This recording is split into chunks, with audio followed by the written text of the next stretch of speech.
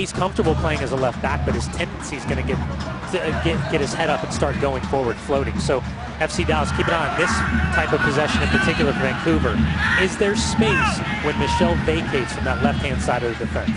Uh, Kobayashi, Camilo, out to Miller. Miller to Kobayashi, and they score right off the bat. A fine centering pass, and Daigo Kobayashi finds open space at the mouth of the goal, and Vancouver strikes first.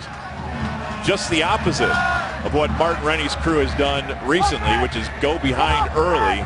But FC Dallas has had this trouble. Well, and exactly what I was just talking about with Michel now as the left back. He's going to be a player that wants to get forward. Right there gets pulled out. Kenny Miller, who starts underneath Camilo, pulls out to that right-hand side, and then it's just a hard dynamic run from Daigo Kobayashi. Starts on that right, hard centering run. He curls his run, stays on side.